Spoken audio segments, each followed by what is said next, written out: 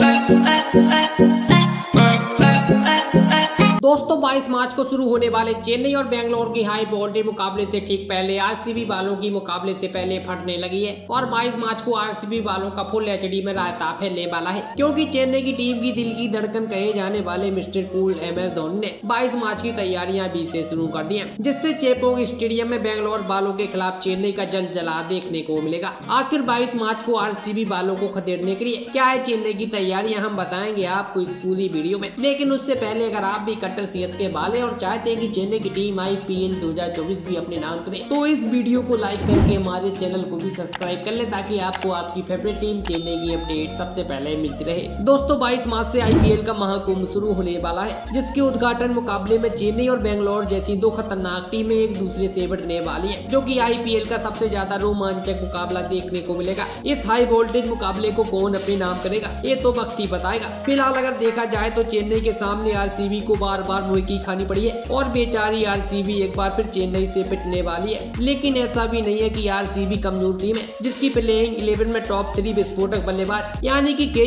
King Kohli और Glenn Maxwell के अलावा हाफ़ टू प्लेसेस मौजूद है। लेकिन चेन्नई और एम एस धोनी की रणनीति के सामने चेन्नई की ट्रिपल आर के के सामने भारी देखने को मिलेगी और आरसीबी के खिलाफ चेन्नई की ओपनिंग जोड़ी भी पूरी तरह बदली हुई नज़र आने वाली है, क्योंकि डीबोन कौन भी अपने अंगूठे की इंजरी की वजह से उपलब्ध नहीं हो पाएँगे। ऐसे में आरसीबी वाले काफ़ी खुश होंगे, लेकिन चेन्नई ने आरसीबी की अकड़ मिटाने के लिए रचिन ज़मीन को प्रमोट किया है और 22 मार्च को रचिन ज़मीन और ऋतुराज गायकवाड की सुनामी देखने को मिलेगी, जो कि किंग कोहली और फाफ डू प्लेसेस को टक्कर दे सकती है। इसके अलावा दोस्तों चेन्नई की गेंदबाजी भी पिछले सीज़न के मुकाबले और भी ज़्यादा खतरनाक अंदाज में दिखाई दे रही है, लेकिन आरसीबी की गेंदबाजी भी इस सीज़न में काफ़ी खतरनाक है, जिसमें दोस्तों लोकी फर्ग्यूसन और जारी जोसेफ के अलावा मियाँ भाई मोहम्मद सिराज मौजूद है और चेन्नई वालों को आरसीबी के गेंदबाजों को फेंटा लगाना होगा, तभी जाकर आरसीबी का गमन चकना चूर हो पाएगा। इसके अलावा दोस्तों, चेन्नई का मिडिल ऑर्डर भी काफ़ी स्ट्रॉन्ग है, जिसमें दोस्तों अजिंक्य रहाणे और शिवम दुबे तो कदर मचाएँगे ही, और जो कमी रह जाएगी उसे डेरिल मिचेल पूरा करते हुए दिखाई देंगे। और डेरिल मिचेल के शामिल होने से चेन्नई काफ़ी खतरनाक हो जाती है। मतलब की अगर आरसीबी की पलटन में के